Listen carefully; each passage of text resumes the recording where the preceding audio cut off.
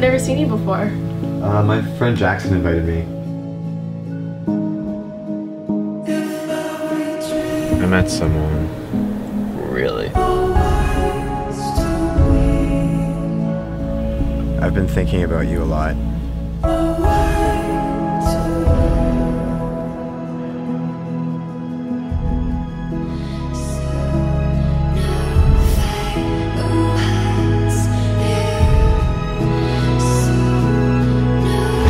it.